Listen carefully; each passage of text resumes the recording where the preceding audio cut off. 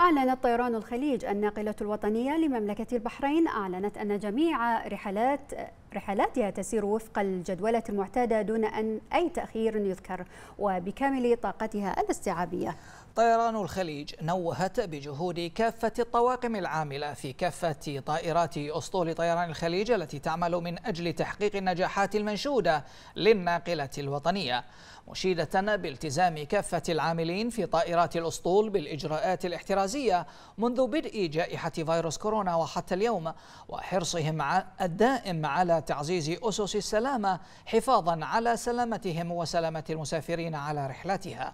مؤكدة أن شركة طيران الخليج حريصة دوما على اتباع كافة التعليمات والإرشادات الخاصة بالسلامة ومنها الخاصة بالإجراءات الاحترازية لفيروس كورونا والمعتمدة من منظمة الطيران المدني الدولي إيكاو.